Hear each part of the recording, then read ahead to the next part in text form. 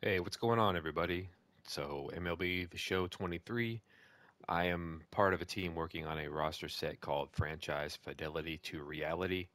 It's going to be really awesome. It's going to be unlike anything you guys have ever seen before.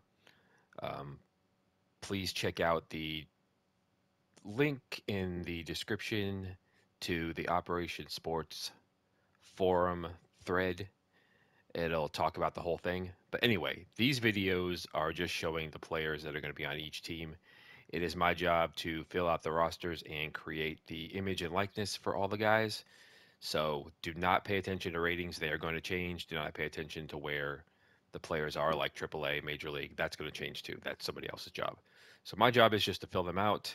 The roster set will be released soon. I'll post tons of videos and updates about it. But for now, that's what these videos are. So Yep, there you go.